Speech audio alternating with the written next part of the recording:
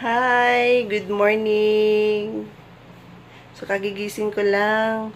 Good morning sa tanan, sa lahat-lahat. Good morning, guys. So, nandito ako ngayon sa aming bahay, sa Lumina Homes. Kasama ko ang aking baby na natutulog. Ayan. Siyam siyam. okay, so, time check is 7 a.m napakalimig ng umaga dito guys sa Lumina Homes dahil wow. ganda ng weather. Uh, inday-inday ang ulan guys. Talaga ang fresh air, ang cool air dito sa Lumina Homes. Uh, compare namin doon sa baba, hindi talaga ako makakalanghap ng ganito ka-fresh na air dito sa Luminaw. Kaya ito yung na, pinaka nagugustuhan ko dito na weather. Buti na lang hindi talaga wow! namin na tuloy na pa-assume ang bahay namin. Okay, so good job, Lumina. So ngayon, guys, uh, may update lang ako. Sorry for the late update. Ngayon lang kami nagkakaroon ng maliit na budget Okay, so i-update ko lang kayo about sa aming nabiling gas range at uh, pinalitan ko yung wallpaper namin sa dining area kasi natatanggal na yung sticker. So ngayon, napalitan ko na siya. So, papakita ko sa inyo para magkaroon kayo ng idea kung kung maganda ba siya.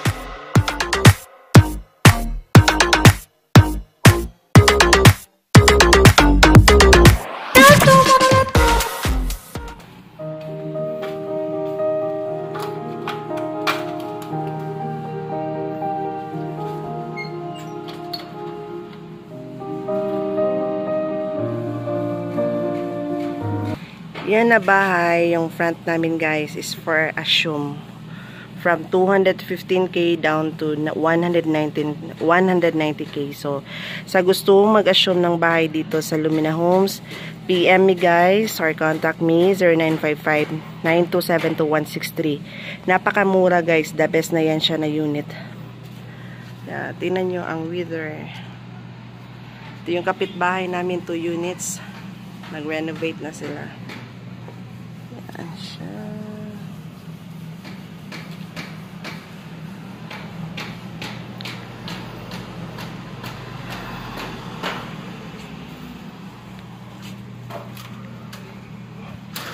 Ipapakita ko lang sa inyo guys ang nabili kong wallpaper sa Shopee na ginamit ko doon sa dining area.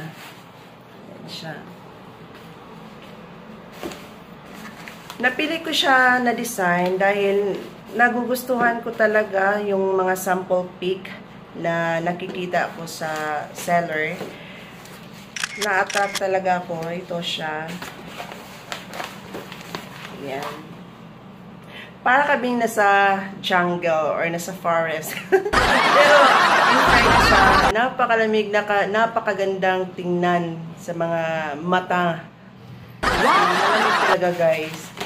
So, ang finished product, ang dati kasi guys, yung mga na, na dikit ko dito, temporary lang kasi yun siya, yung sticker. Hindi yun siya, uh, bali, yung quality niya is pangit, yung first na naidikit ko dito na sticker wallpaper.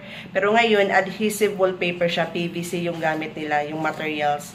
So, Pangalawang beses ko na itong nabili. Yung isa is yung sa CR. Yan. Ito yung first na nabili ko sa seller. Napakaganda guys. Almost one year na siya. Hindi pa rin siya nasira. Ayan.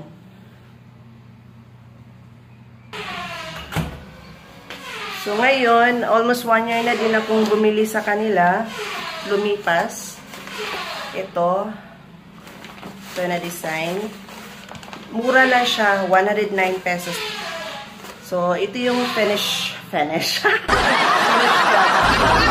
finish Super ganda, super calm.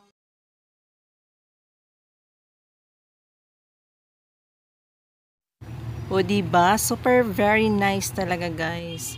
Napakamura, wow! pero ang quality niya, tingnan nyo naman, guys. Ang ganda. Sa akin talaga guys, super nagagandahan ako sa design, sa print. Uh, clear yung print, tapos ang ang adhesive niya super dikit. Maybe maglalast ito for 3 to 5 years, depende na po sa pag-iingat ninyo. Ang nabili ko guys is 3 rolls, pero ang nagamit ko lang is 1 and a half. So, sobrang sobra yung binili ko. Ayan siya, super dikit talaga yan siya guys. Maglalast yan 3 to 5 years, depende na po yan sa pag-ingat ninyo. Yan. So, very, very attractive yung designs, cooling effect sa mga mata nyo. Guys. Promise. Walang halong biro. Para kayong nasa jungle. Charla. so, dyan na area, lagyan namin ng shelves. Tapos, lagyan din namin sa left side ng frames, dapat yung background is white background para lumulutang yung kulay ng aming wall.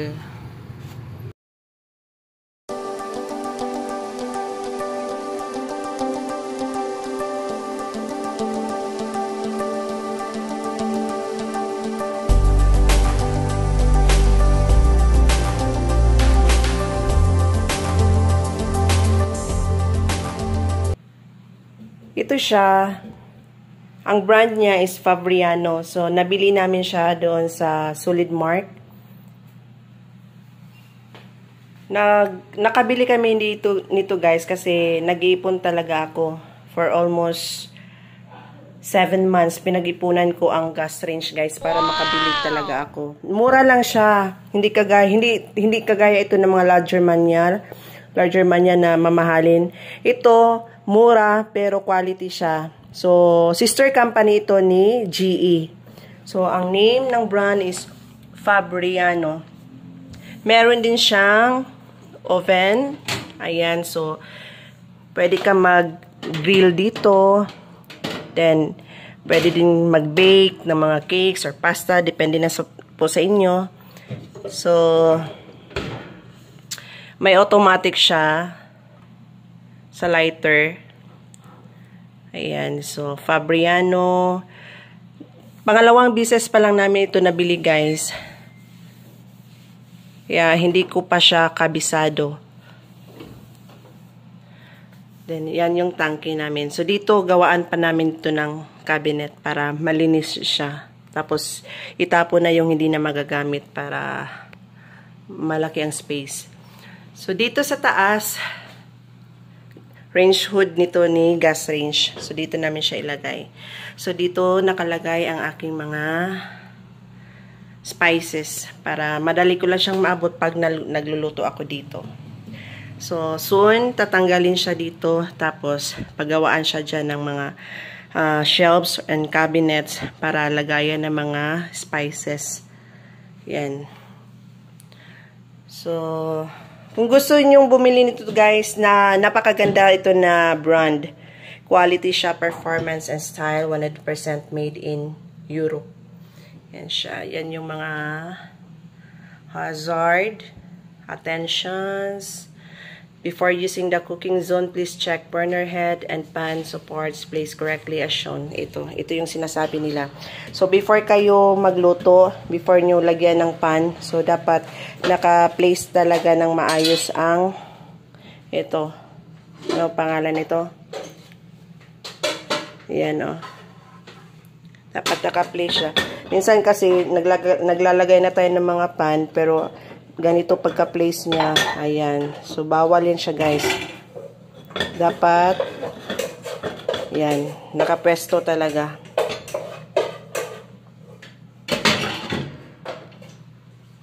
So, so far, ito lang muna ang aking update. Dahil, magsisave na naman si Maricel. Para konting gamit dito sa loob ng aming bahay.